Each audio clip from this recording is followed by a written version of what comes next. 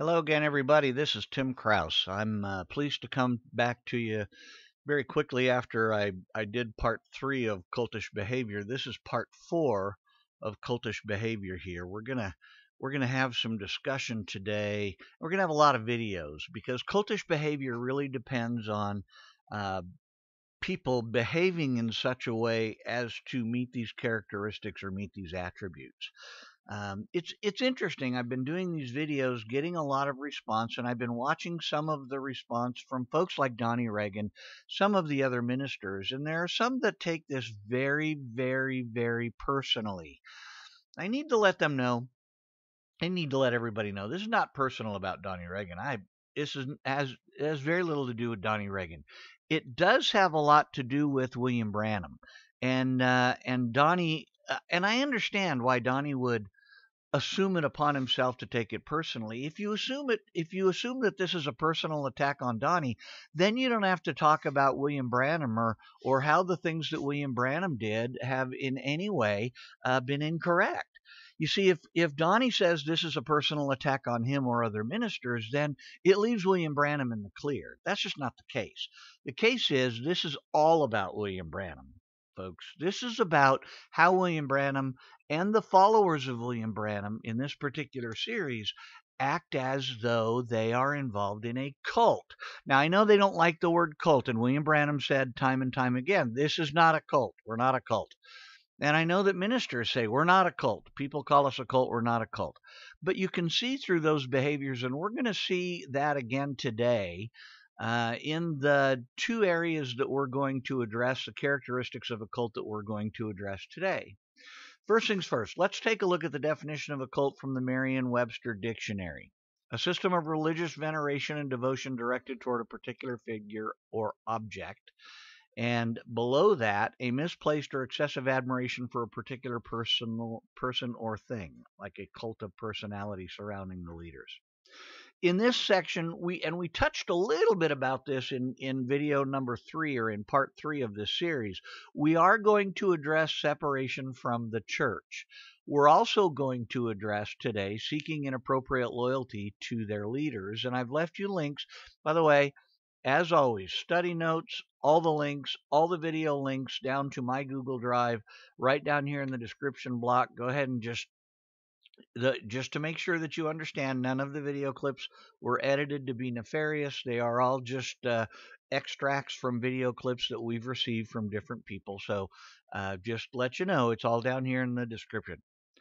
Now, the first thing we want to address, though, is the separation from the church. I want to address, first of all, it's important for us to remember what William Branham said.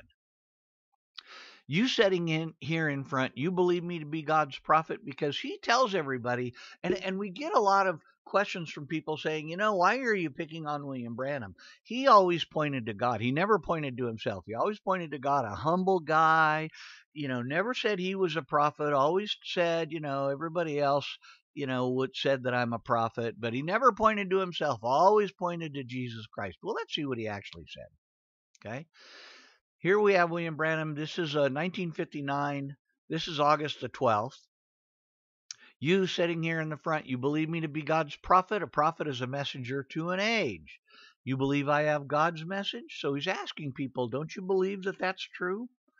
Here he is again in 1964. This is January the 12th the word. The word in the days of the apostles does not work in this day. In other words, what William Branham says in that clip is the Bible is meaningless. If the word in the days of the apostles doesn't work in this day, then all of the epistles and all of the letters that were written by Paul, James, uh, Peter, uh, all, all all of those letters are are to no effect that the word in the days of the apostle does not work in this day. Therefore, you need William Branham's message. And that, as we saw before, talks about, as an example, when we talked about other attributes of the cult, that basically elevates what William Branham says above the Bible. So, whether you want to believe it or not, or whether you want to admit to it or not, if you believe everything that William Branham said, and you believe what he what I just read to you that the word in the days of the apostle does not work in this day, then then you elevate William Branham's word above the Bible. Just just a tip. Here's another one in 1964. This is August the 16th. Only the ones that's been made part of this word, see, will be their part and their position in this word for their age, will be the only one will be there. So Branham's saying, in order to get to heaven, you have to be part of this message. You you've got to be part of the bride. And we're going to see message ministers repeat that very thing. The word of the Lord comes, this is in 1965, this is January the 24th by William Branham. The word of the Lord comes to the prophet and him only. That is the word that's spoken for that day is made manifest by the prophet in that age, always has been. Again, William Branham saying, if you don't believe me and my message, then you don't have the word for your day, and all of that scripture is null and void. So here we have William Branham in 1965. This is April the 18th, the morning service. It is the rising of the sun. Waving of the sheaf. What was the sheaf? The first one that come to mature. The first one that proved it was a wheat. The it that proved it was a sheaf. Hallelujah. I'm sure you see what I'm talking about. It was waved over the people. And the first time there will come forth for the bride age for a resurrection out of a dark denominationalism will be a message that the full maturity of the word is turned back again in its full power and being waved over the people by the same signs and wonders that he did back there. So, what William Branham is telling us here is you're seeing the signs and wonders that I do. I do the signs and wonders, and that leads you to believe, or that should lead you to believe or understand at any rate, that, that that's the message for the bride age. That's the full maturity of the word. Here we have 1965 uh, this is uh, August the 1st. This is a morning service. Now, the humble little bride of Christ just simply believes the word. Whoever she is, it's individuals. I hope and trust that there's many setting present, many listening in, and I hope that myself and every one you of you all are part of that bride. So here we're segregating the bride. We see the idea that there's the church and then there's the bride, the church and the bride. Donnie Reagan talks about this frequently. We've shown videos of him talking about that before, as do other ministers. The issue is is there really a separation of the church and the bride in Scripture? Well, we're going to see that. I hope many, and it will, with all that's been ordained to that, will be that because it's their nature. They see the word can only recognize the word, it can't recognize a denomination or a perversion. It knows better, it's the word. So what he's saying is the denominations are those people that have the common salvation through Jesus Christ. They're not it. What has to be it is if you're the bride of Christ. So we're going to separate, we're going to elevate ourselves again. We're going to become an elite. We're going to elevate ourselves again. That goes back to the characteristics that talks about uh, extra scriptural or, or anti scriptural or extra, extra scriptural teaching within a cult. Now, what scripture does William Branham use to establish this assertion? He's going to rely really heavily, as do the message ministers, on Matthew 25, and he's going to focus this very narrowly on verses 7 through 10. I'll read starting in verse 7. Then all those virgins got up and trimmed their lamps, but the foolish ones said to the sensible ones, Give us some of your oil because our lamps are going out. The sensible ones answered, No, there won't be enough for us and for you. Go instead to those who sell and buy oil for yourselves. When they had gone to buy some, the groom arrived. Then those who were ready went in with him to the wedding banquet, and the door was shut. Branham uses this to separate. You're a foolish version if you're a denomination. You're a wise version if you're a message believer and in the bride. That's the that's the the proof text that that Branham uses we're going to take a look at some other uh, so what some ministers say to back this up or what some ministers say to to support that assertion we're going to start with ron peterson an interesting clip here ron's all about it's okay if you leave the message but just keep your mouth shut we're going to see that then right after that and i'll play these back to back then right after that we're going to see barry coffey on uh, August the 22nd, 2021, Jew or Bride. By the way, the Ron Peterson message was the 1st of January, 2022. Then we're going to see Donnie Reagan. He speaks on the 5th of January 2022, Nehemiah and his letters. And we're going to see Ron Peterson again, uh, January the 1st, 2022. He's going to talk about royal seed. Then we're going to see Tom Rae. This is the 2021 December 8th. Without the message, there is no rapture. Abe Pinard. Now this is going this Abe Pinard. We're going to see him. This is October the 14th, 2021. Our church is different. Then we're going to see Donna Ray, Donnie Reagan again. This is uh, going back a little bit. This is April the 28th, 2021. There will be no rapture without Malachi 4. So we're going to take a look at those and then we're going to come back and address that. We're going to look at that for just a moment. So here we go with those videos. I'll play them back to back for you. Here we are.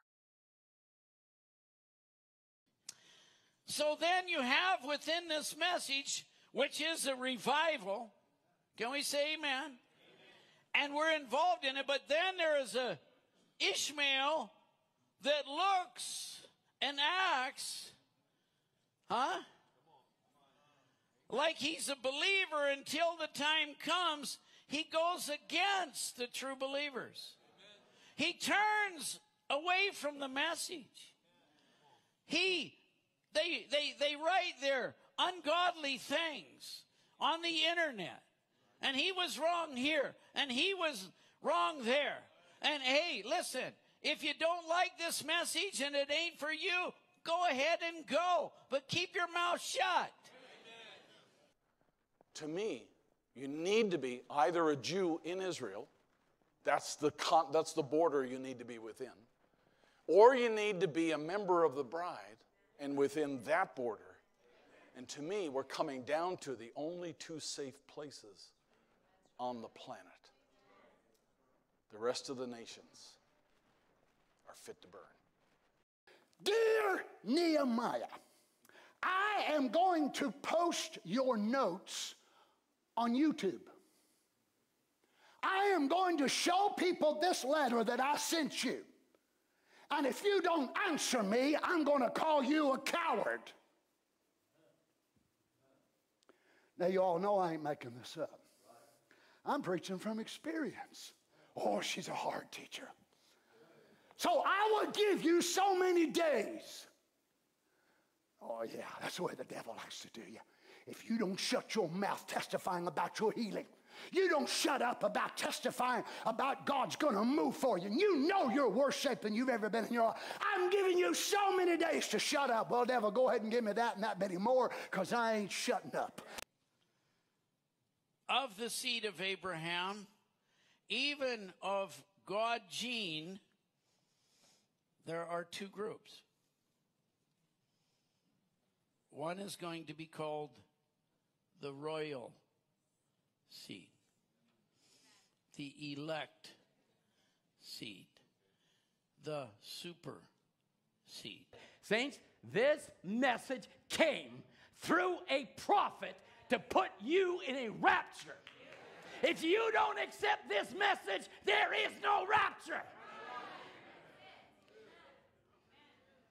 Now, he sent a message, I believe, in our day, say, what makes us different from other churches? Don't we all believe in Calvary and then Jesus, the Lamb that took away the sin of the world, and that he's our Savior, and all these things? Sure, we do. But then he sends a message to make himself manifest in the now, not just 2,000 years ago, but right today. And that message is what connects you to the Christ of the present tense. I don't need John the Baptist. You'll never come to Jesus unless you come this way. May I update it for you and bring it up a little bit closer? You'll never go in the rapture without the ministration of Malachi 4. Well, I don't need William Branham. That's what you think.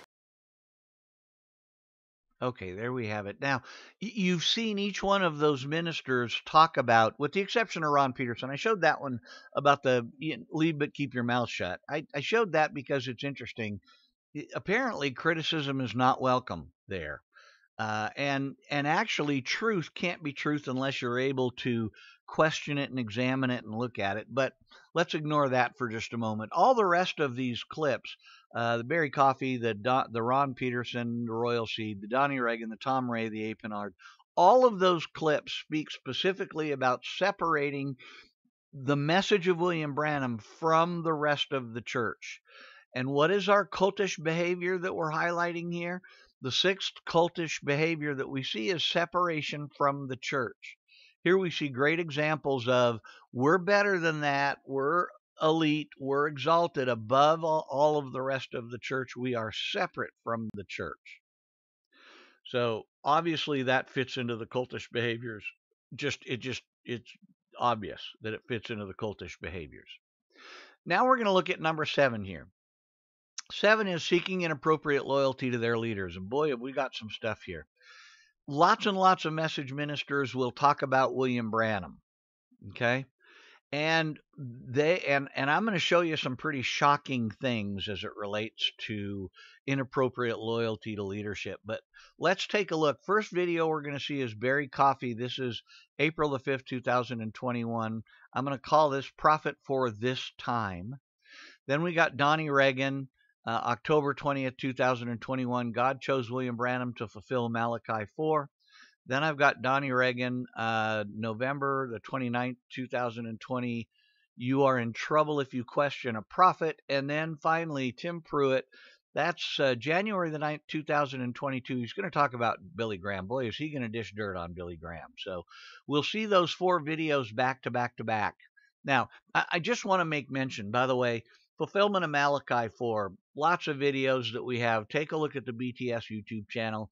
I did one specifically on a study on what, what was Malachi 4 and how did that relate to Gentiles and Christianity. So take a look at that if you have any questions about Malachi 4. But let's go ahead and take a look at these videos so that we can see what's going on.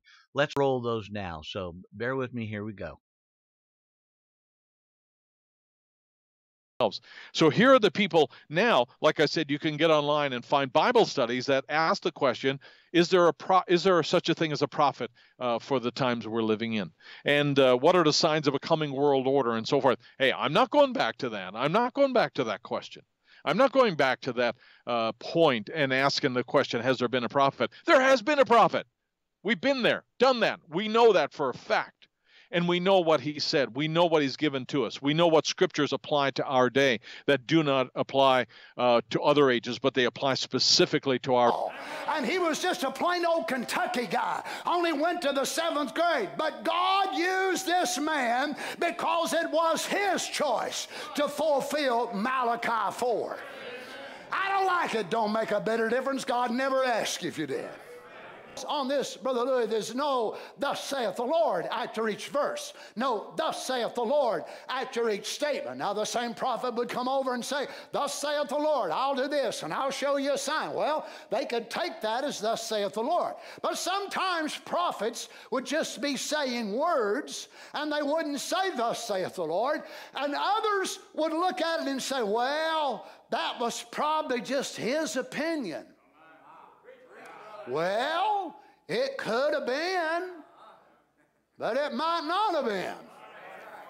Well, you could be in big trouble if you think it was his opinion when actually it was the word of the Lord. Now, we find that even in the day, of course, that we're living in, as people want to uh, do our message exactly the same way. Now, Brother Branham talked about Billy Graham. He calls him by name. He said he's the son of Kish. You see, he was never called of God. He was never out of the right tribe. He was educated, head and shoulder above all others, a fine man, a challenger of evangelism, and a Mohammedan challenged him. And when the Mohammedan challenged him and said, If your God is God, let him heal the sick like he said he would do. And the son of Kish, with the rest of the army, quietened himself, left the country defeated. Amen. It's a disgrace. Our God is God one of the sons of Kish, head and shoulders above all the other evangelists, called by Muhammad the other day, challenged to the word of God, trembled in his shoes and left the ground. What's the matter? It's something besides theology. It has to bring the supernatural power of God and do it. He knew nothing about it, same as in the days of Saul. Okay, there we are with the videos. And you can clearly see that William Branham is revered above everybody. He is absolutely revered as the prophet of God. You can see that. Although we've demonstrated time and time and time again where William Branham doesn't qualify as a prophet of God, but we'll leave that alone for the moment. Here we have the ministers talking about William Branham and how he is a prophet for our age, that he is the one that was sent by God uh, to lead the bride, the elite group, uh, into heaven. So, uh, but what did William Branham say about himself? Now, that's an interesting idea. Because remember, everybody tells us, oh, William Branham was just a simple guy. He never pointed to himself. He always pointed to Jesus. Well, let's see. And I left a link here in the study notes to the Believe the Sign webpage. There's an article uh, that that's titled "View of Himself." So you can go ahead and click that link; it'll get you straight to the article. And but but but this these are interesting quotes directly from William Branham. Now, this is 1965, April the 27th, as God change his mind. William Branham speaks. Now, Jesus came in three names Son of Man, which is a prophet, Son of God, which went through the church age, then Son of David. I'm going to break here for just a moment. Son of Man is not. He, that that's not identified as a prophet. The Son of Man is only used by God or by Jesus about himself. It's used from time to time in the Old Testament to refer to Jesus Christ, but Jesus uses it towards himself. He speaks about the Son of Man, and it's a deprecating sort of of uh, phrase to use for himself. He could have said, as an example, Son of God, because he's the Son of God. He's Jesus. He's the Messiah. But he uses the Son of Man, and he's the only one that uses the Son of Man. None of the disciples or apostles use the term Son of Man unless they are referring to Jesus Christ. Jesus is the Son of Man, and Branham speaks about it here Son of Man, although he talks about the Son of Man, which is a prophet. So he speaks about Jesus Christ as a prophet. Well, Jesus Christ was the Messiah. I'm sure he had some prophetic uh, characteristics or some prophetic attributes. You can count on that. But the Son of Man does not refer to Jesus Christ as a prophet. Okay? So, because it's important, because message believers want to then say, well, the Son of Man refers to William Branham. That's the type of William, the type Son of Man is the same as, you know, the Jesus Christ that's referred to as a prophetic, because this is where they get that saying. And it's not scriptural and it's untrue. And if you study the way Jesus used that term, you will understand why that's not true. But let's go on. Now, Jesus came in three names Son of Man, which is prophet. We just talked about that. Son of God, which went through the church age then son of David. But in between the son of God and son of David, according to his own word and according to Malachi 4 and many scriptures, he's to return back into his church in physical form, in the people, in a human beings, in the way of being a prophet, see? So here William Branham says, Hey, I'm the prophet of God. Remember those things that we read a little bit earlier where he said, Do you believe me to be the prophet of God? Well, here William Branham is saying Jesus Christ is going to return back into his church in physical form as a prophet. It's no wonder that message believers and message ministers misconstrue and say, but William Branham was a prophet of God. He was also the manifestation of Jesus on earth. Here is where they get that from because William Branham tells us this that that God is going to return back to his church in physical form as a prophet. And he said, "I'm a prophet of God." So William Branham's completely out of his lane here. He's completely out of out of his lane. But there are lots of churches, Lee Vayle churches particularly, that basically are the Christ Branham. Christ Branham was the manifestation of Jesus Christ on earth, and they point to this message passage to tell them that that's true. So that William Branham taught that, by the way. And, he, did he point to Jesus Christ there? Not much, huh? Here he is. Now this is uh, obey the voice of the angel. Uh, this is in July the 13th in 1960. So here's William Branham, and he says, Now you could be a renowned Christian and fail to believe what I've told you to be the truth, and you'd never be able to re- reap a bit of benefit from it. Now, I'm sorry to have to say that, but it's the truth. When Jesus was on earth, the people that killed him believed in God the Father and were great worshipers of God. Is that right? But he could not help them because they did not believe in him. Is that right? And he said with his own mouth, As you have believed in God, believe also in me. Is that, is that right? Now, if you believed in God the Father, the Son, and the Holy Spirit, I want you to believe that He sent me here to pray for you, and He will testify whether or not He He He has or not. And if He testifies, then you believe it. So here we have William Branham remarkably saying, hey, look, if you don't believe what I'm telling you, you can't really reap any of the benefit. If you don't believe in me as a prophet of God, as if Branham is the one who heals and not God. Here we have William Branham, 1953. This is June the 11th. Show us the Father and it'll satisfy us. This is from Connersville, Indiana. Now, he's relating a story. He and this is Branham speaking. She said, "Reverend Branham, if I want somebody talk to me about like that, I'll get somebody that's got some sense, not you." I said, "Very well. I've done all I can do. Remember, sister, if you blaspheme the Holy Ghost, you'll never be saved." Is Branham intimating here that by not believing in William Branham that you're blaspheming the Holy Spirit? See, this is where message believers say, well, you turned away from the message, therefore you're blaspheming the Holy Spirit, and you're never going to, you forfeited your right to the kingdom of God. So we see the message sermons that William Branham taught that people take and they say, oh, this must mean that because you've left the message, now you blaspheme the Holy Spirit and you've lost your inheritance to the kingdom of God, which is just nonsense, total nonsense. We've never left the message or we, as I should say, we've never left God. We left the idea that William Branham is this prophet that William Branham is speaking about here, and that the the prophet that we saw the message ministers talk about. We never left God. Here now is William Branham, 1953. This is the 7th of November. How the Angel Came to Me, Owensboro, Kentucky, Saturday service. Now, I, I believe that it was born as as a prophetic utterance. Oh, many people call it one thing and another thing and so forth. I don't know what it is, just so the Lord loves me and I love him and settles it with me. Don't have to be anything. Call it anything, just so it gets the results for the Lord Jesus and for his people. That's the main thing. It's caused many others, Brother Roberts for one, he's talking about Oral Roberts, Brother Jaggers, most of all of them have come set right where you're sitting. They seen the Lord working. It inspired their faith and said, Here we go. And they went out and done something for the Lord. I hope there's 50 comes out of this meeting the same way. That's right. Go out and do something. It's all for the kingdom of God, all for his glory. Here, William Branham tells us that he was born a prophet. He was born a prophet. Okay? Here we have another message from William Branham. This is 1965. This is July the 11th. It's called Ashamed, Jefferson, Indiana, Jeffersonville, Indiana. If you notice the prophet in one sense of the word in the Old Testament, when he says, Thus saith the Lord, now watch him, he goes right into the phrase of taking the place of the Lord.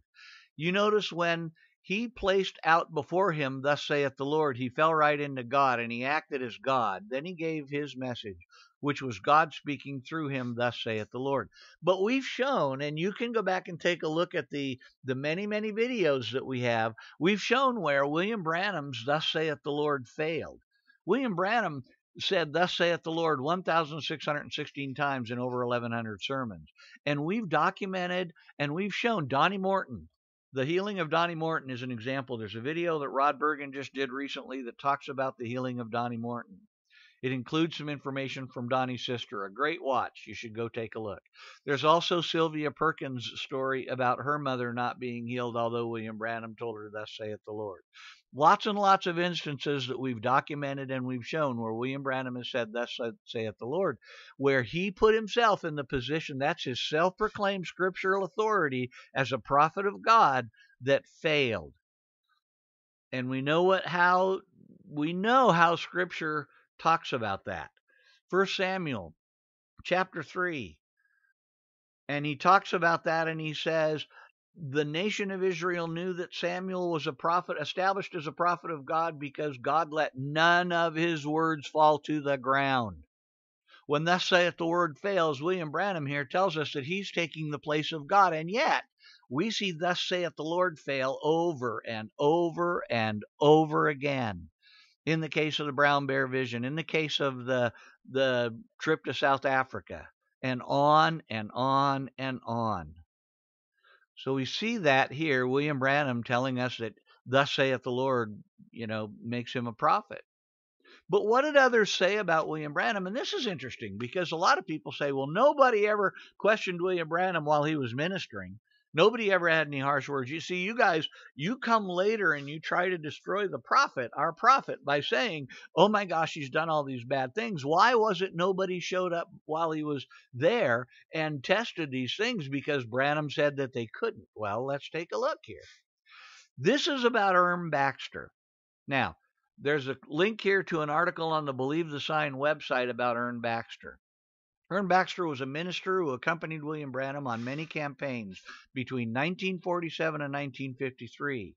William Branham's meetings were often called the Baxter Branham meetings, as Ern Baxter would often preach at those meetings as well. He also acted as William Branham's campaign manager during these years. William Branham mentioned him mentioned that it was the angel of the Lord that led him to contact Ern Baxter and have him accompany William Branham during his early healing campaigns. Now we're going to take a look specifically at a excerpt uh, of a of a interview that Erm Baxter gave to the New Wine magazine. It's from Christian Growth Ministries, Fort Lauderdale, Florida, and and the link there to the Believe the Sign website takes you directly to the information about the article and takes you to the rest of that interview. But we're going to just address two of the questions that were asked to Ern Baxter. What brought William Branham's ministry to a close was the question, and the answer this is Ern Baxter speaking. I believe there's a Bible principle involved. No matter who we are, if we don't relate to the principles of truth, we pay for it. We either fall on it and break in repentance, or it falls on us and breaks us in judgment. The measure of faith Paul talks about in Romans 12, where he says, To each man is given according a measure of faith. He that prophesieth, let him prophesy according to the measure of faith, indicates that we all have been given a grace gift, but we must walk within the confines of our gift.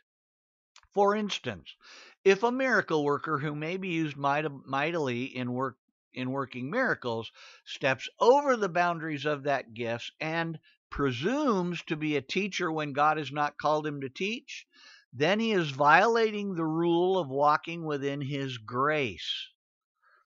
Erm Baxter continues Branham saw himself as a teacher of some kind of in truth. To me, some of it was quite esoteric. I became aware early in his ministry that there was a mixture. I urged him not to say some things in, in public. As long as we worked together, he refrained.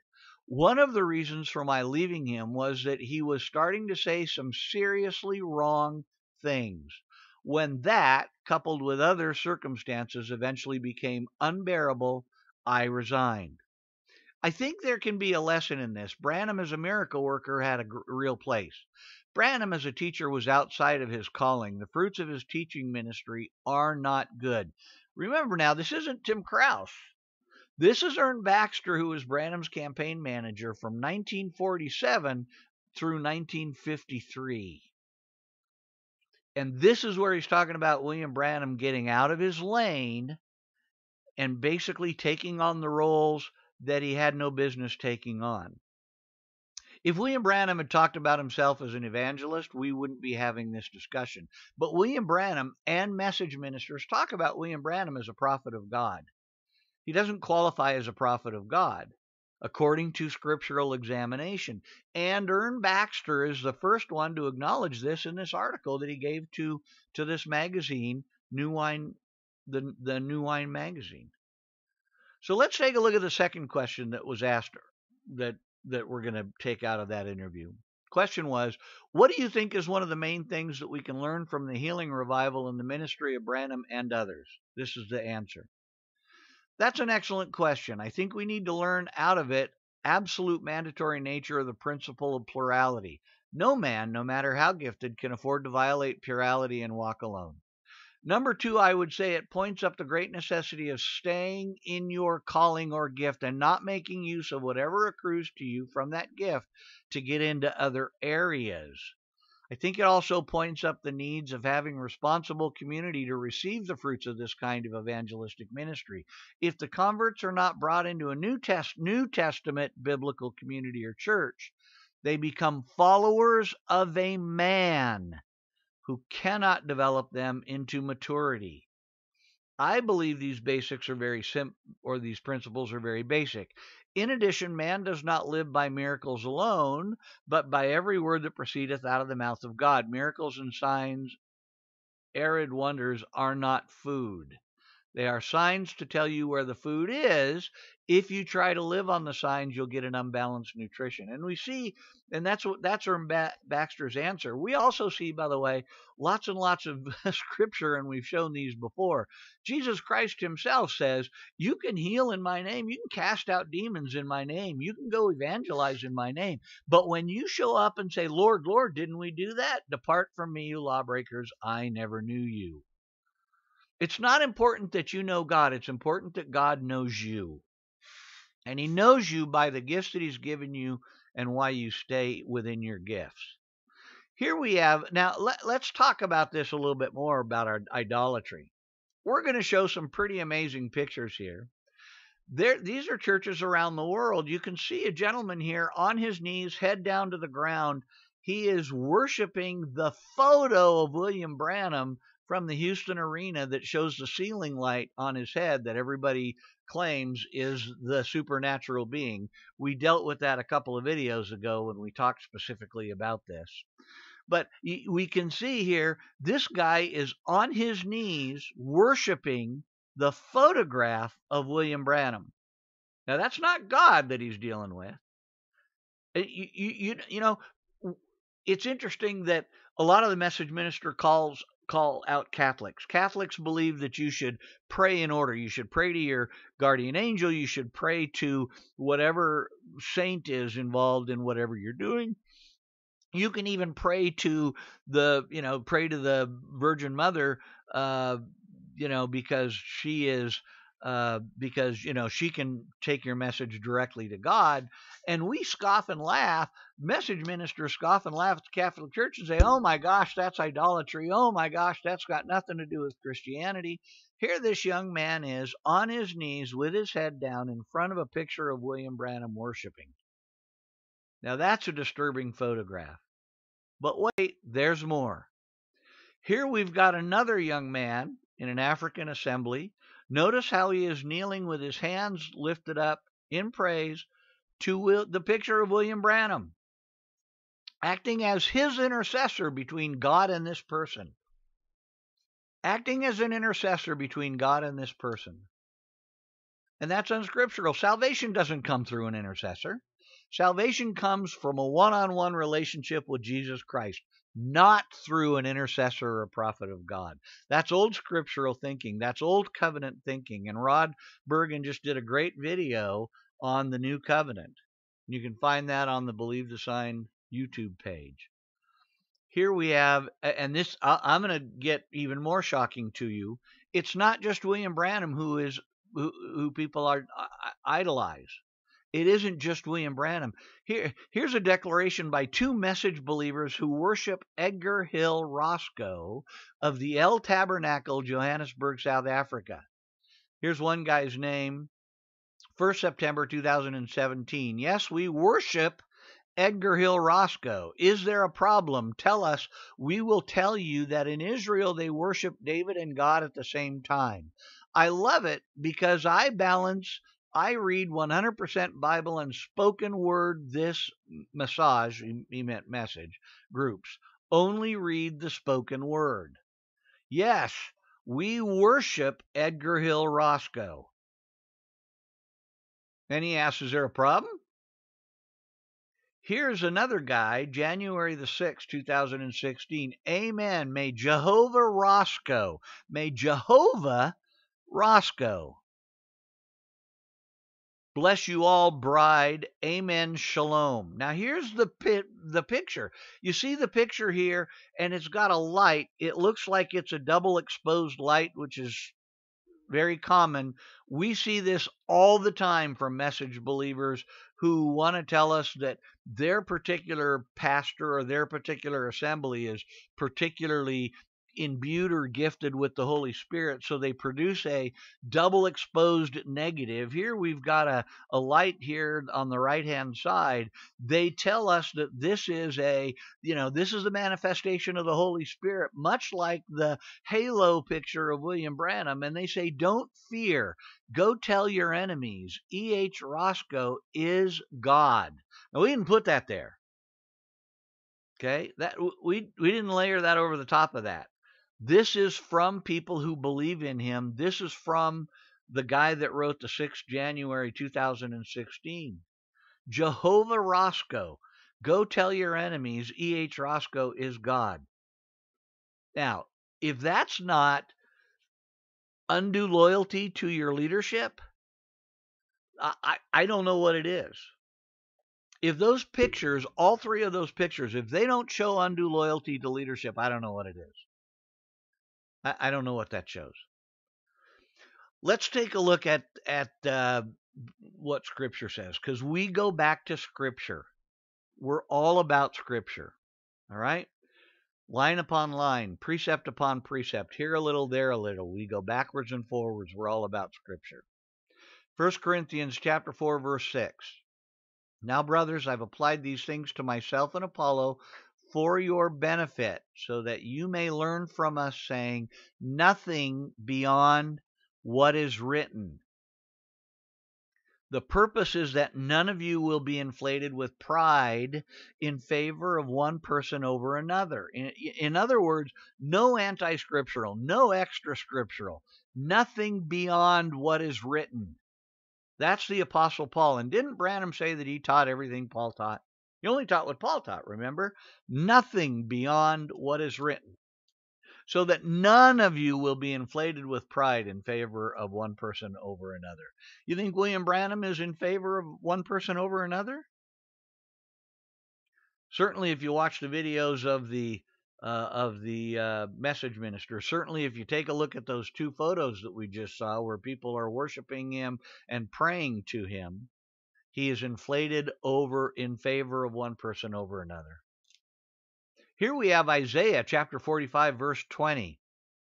Come gather together and draw near, you fugitives of the nations, those who carry their wooden idols and pray to a God who cannot save, have no knowledge. In other words, William Branham can't save you. These guys are worshiping William Branham. They are William Branham has become the intercessor between them and God. If you're praying to William Branham, then you're not praying to Jesus Christ. Your salvation's not based in Jesus Christ. That's a problem. Here we have Galatians chapter 4 verses 8 and 9. But in the past when you didn't know God, you were enslaved by things that by nature are not God's. But now, since you know God, or rather have become known by God, how can you turn back again to the weak and bankrupt elemental forces? Do you want to be enslaved to them all over again? Here, the Apostle Paul is saying, guys, you were enslaved by things that you know you were you were praising idols. Eh, you want to go back to that? You want to go back to idolatry? Here we have Galatians chapter 5, verses 18 through 21. But if you are led by the Spirit, you are not under the law. Now, the works of the flesh are obvious sexual immorality, moral impurity, promiscuity, idolatry, sorcery, hatreds, strife, jealousy, outbursts of anger, selfish ambitions, dissensions, factions, envy, drunkenness, carousing, and any similar anything similar. I tell you about these things in advance, as I told you before, that those who practice such things will not inherit the kingdom of God. Idolatry, verse 20. When you're kneeling in worship of a photo of William Branham, wow. When you're saying, my pastor, Roscoe, Jehovah Roscoe, is God. Wow. Now, what about the foolish virgins? Because that's the that's the proof text that William Branham uses. You, boy, you could do a whole sermon, and I I promise I will do my best not to preach a sermon about the foolish virgins. But I cannot go without taking a look at some of the scriptures that relate to it. Romans. You see, here here are some of the points about the the the foolish virgins. You see, it's inside is what is inside the lamp that matters. So if your lamp is empty, if you're empty, assume that you're the lamp. If you're lamp, if you're the lamp and you are empty, then you've got a problem when the when the bridegroom comes and we're in the the great takening as Paul describes it, the rapture if you will. Here we've got uh, Romans 8. Those who are in the flesh cannot please God. You, however, are not in the flesh, but in the Spirit, since the Spirit of God lives in you. But if anyone does not have the Spirit of Christ, he does not belong to him. Now, let's talk about the, the lamp being each individual Christian. That is, somebody who comes to Christ for salvation. And then they do not repent to be baptized in obedience to the word for the repentance of or to the remission of their sins.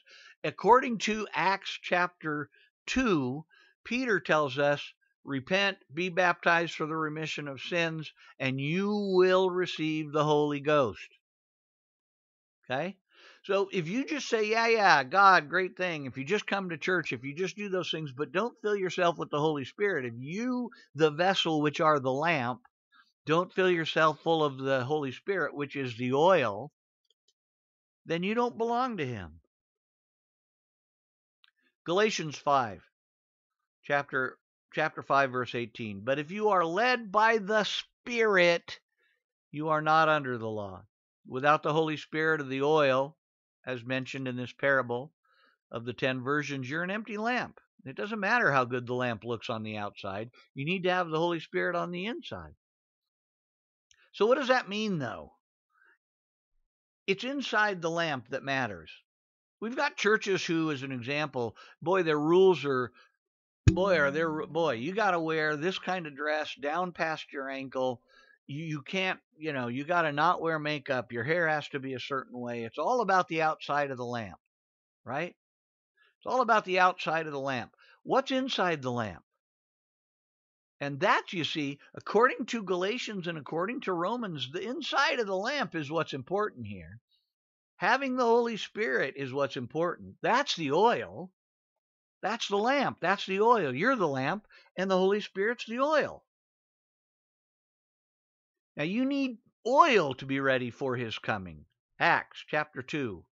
1 through 4. When the day of Pentecost had arrived, they were all together in one place. Suddenly, a sound like that of a violent rushing wind came from heaven, and it filled the whole house where they were staying, and tongues like flames of fire were divided, appearing to them and resting on each one of them. Then they were all filled with the Holy Spirit and began to speak in different languages as the Spirit gave them the ability to speak. They were filled with the Holy Spirit. That's the oil. Is Jesus Christ talking about sex? You see, because message ministers take the what the, those very narrow verse 7 through 10 and they say this segregates or this separates the bride from the regular church. It's not about separation. That's not what that verse is that what that scripture is about. It isn't about elevating the bride. It's about filling the lamp. You're the lamp. It's about filling the lamp you need to be full of oil to be ready for his coming. You need to have the Holy Spirit in order to get ready for his coming. It isn't about separating ourselves, it's about filling ourselves with oil. Here we have this, by the way, seven virgins or the five virgins is a parable about the rapture, in case you, in case you missed it. In our story, notice if the virgins got tired and fell asleep. In the Bible, to fall asleep can also be a reference to dying. After they sleep, they were awoken by a cry that rang out. When the cry came, those who were ready went into the banquet with the bridegroom, and those who were not ready got locked out. It's the picture of the rapture. Now, consider what Paul said in Thessalonians. You'll notice some parallels here. 1 Thessalonians chapter 4, 13 through 18. We do not want you to be uninformed, brothers, concerning those who are asleep, so that you will not grieve like the rest who have no hope. Since we believe that Jesus died and rose again, and again, this is the Apostle Paul talking, in the same way, God will bring with him those who have fallen asleep through Jesus. For we say this to you by a revelation from the Lord. We, who are still alive in the Lord's coming, will certainly have no advantage over those who have fallen asleep. Isn't that interesting? We who are still alive at the Lord's coming will have no advantage over those who have fallen asleep. That's what the Apostle Paul tells us. And yet, William Branham and his ministers use verses 7 through 10 in, about, in that parable about the foolish brides to say this is about a separation. And yet, Paul tells us we who are still alive at the Lord's coming will certainly have no advantage over those who have fallen asleep. And didn't Branham say that he only taught what Paul taught? Let's go on here. For the Lord himself will descend from heaven with a shout, with the archangel's voice, and then with the trumpet, and the dead in Christ will be rise first. He's telling us exactly how this is going to happen. The shout, archangel's voice, trumpet of God, the dead will be the first to rise then we who are still alive will be caught up together. Not we who are awake and not asleep. We who are still alive will be caught up together with them in the cloud to meet the Lord in the air, so we will always be with the Lord. Then we who are still alive, not those of us who are asleep or awake, and the guy the guys that are asleep, they're going to go away. This clarifies that entire issue for it, doesn't it? Therefore, encourage one another in these words. Don't tell people, you know what, you're not going to make it because you don't have this message. Quit telling people separation is the important thing because it's not. Here we have the Apostle Paul telling us this. Believe in the Lord, get salvation through Jesus Christ. Come to the Lord, be baptized for the remission of your sin, be filled with the Holy Spirit. You're the lamp, receive the oil of the Holy Spirit. Now, and this is the interesting thing. You see, to me, this is the essence of it. It's the greatest question in life. I think one of the most stunning statements in this entire, entire story is in verse 12. But let's read it together. Starting with verse 1, because because message ministers start too late and end too early. Let's go all the way through it starting at verse 1. Then the kingdom of heaven will be like ten virgins who took their lamps and went out to meet the groom. Five of them were foolish and five were sensible.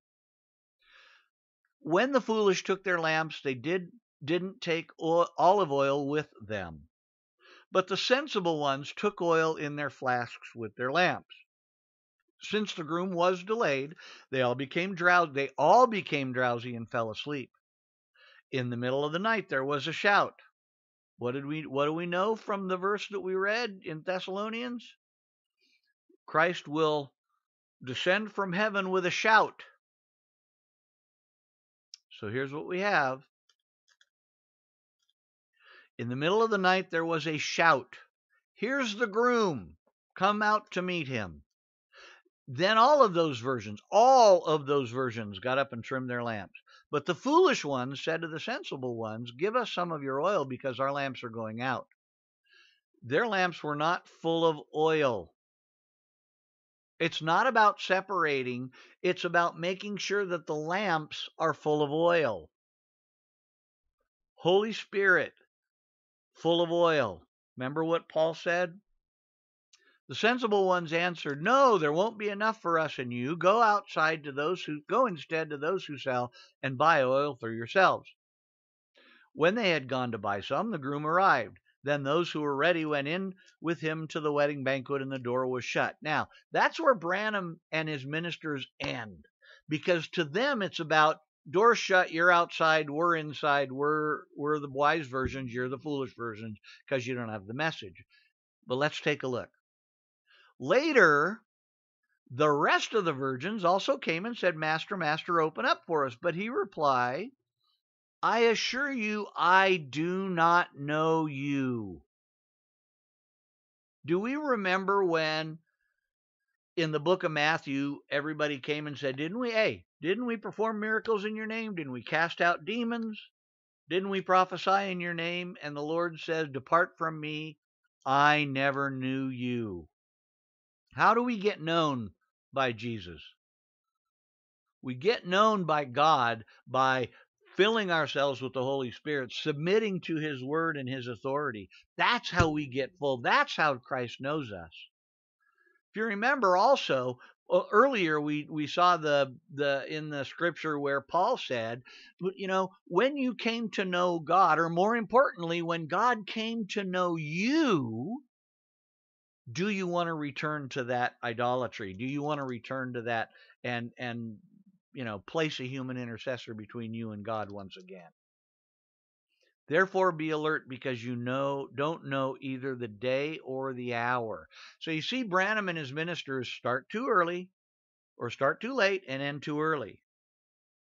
Imagine the virgins hearing these words and the shock when they were hit with this reality.